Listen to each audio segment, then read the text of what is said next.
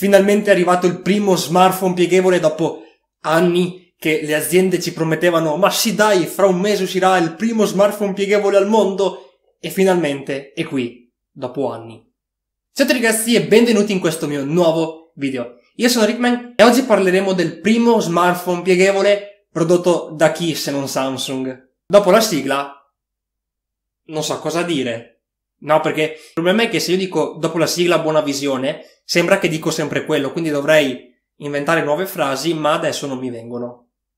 Vabbè dai, per oggi ci sta. Dopo la sigla, buona visione.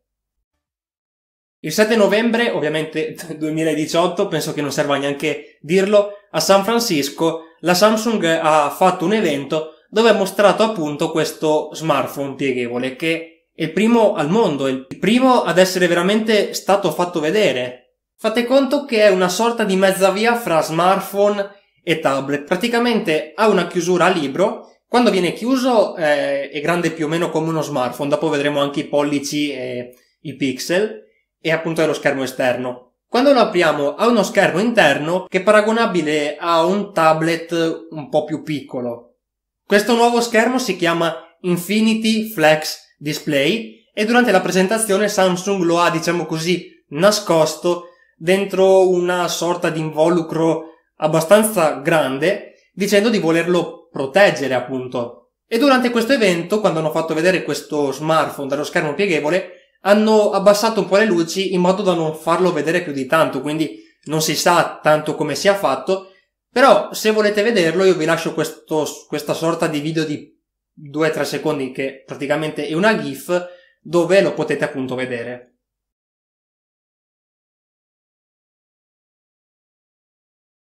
Ovviamente come sistema operativo utilizza Android che proprio poco tempo fa ha annunciato di aver aggiunto delle eh, opzioni, diciamo così, delle implementazioni per poter offrire il supporto a questi nuovi schermi, a questi nuovi display meglio. Durante questa presentazione appunto hanno detto i pollici, che ora io leggerò, che sono di 840 x 1960 ovviamente per lo schermo dello smartphone, che è di 4,5 pollici, e quello più grande interno, quello da aperto per così intenderci il tablet, da 1536 x 2152 ed è grande 7,3 pollici. Quindi praticamente un phablet. Sappiamo anche che potrà gestire più applicazioni contemporaneamente su entrambi gli schermi, anche se per appunto avere questa feature bisogna che gli sviluppatori l'aggiungano. Sicuramente Samsung ha i mezzi per convincere gli sviluppatori, però appunto essendo che dipende da loro, ci saranno sicuramente applicazioni che non lo supporteranno e applicazioni che lo supporteranno benissimo. Lo stato di sviluppo di questo Infinity Flex Display sembra essere arrivato praticamente al termine e quindi sarà prossimo alla produzione di massa. Non si sa precisamente la data, Samsung ha detto di volerlo produrlo appunto di massa per il prossimo anno, ma non ha dato date precise, quindi non si sa che cazzo vuoi. Quindi, come vi sembra questo smartphone?